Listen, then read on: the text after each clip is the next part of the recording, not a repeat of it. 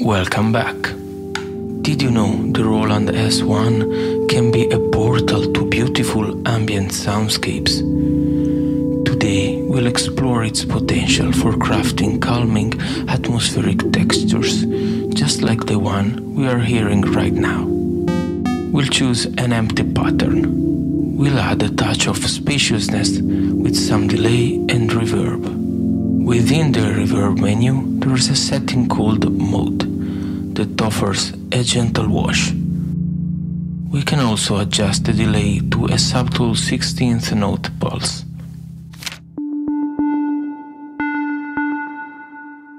For our initial sound, a short plucked note will work well.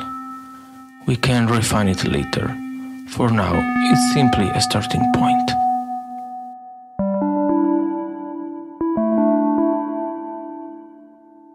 We'll stretch our canvas a bit, using all 64 steps and setting a fast tempo for recording.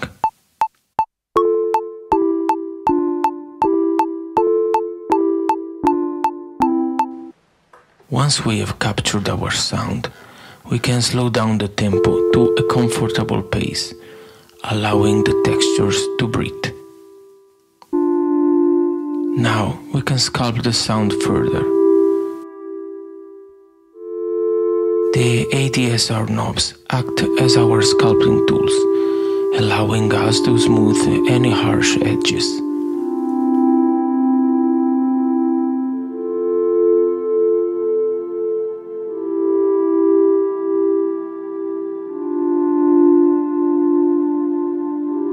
Perhaps lowering the oscillator an octave will add a touch of depth.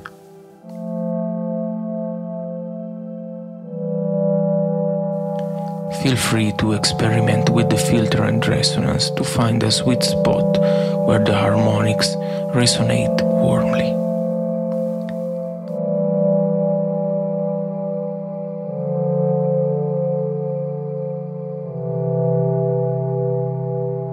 Imagine another layer two octaves higher, weaving a counterpoint melody.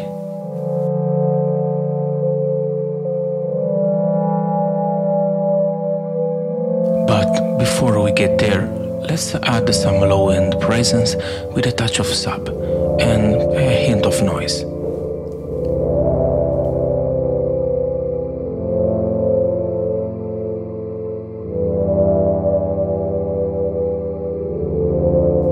To introduce some gentle movement, we can explore the filter LFO.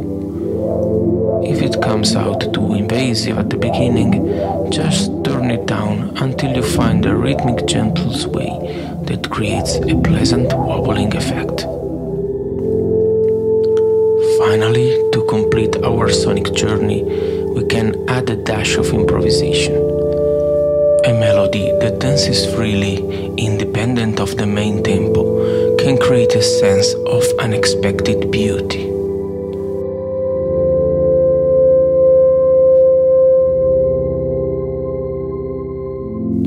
I feel like we need a more gentle, muffled quality of the sound.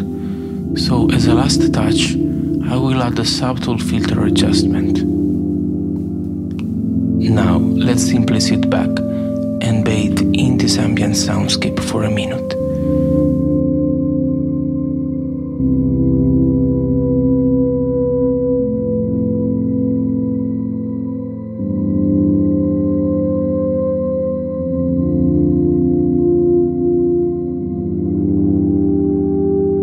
Breathe deeply and allow the sounds to wash over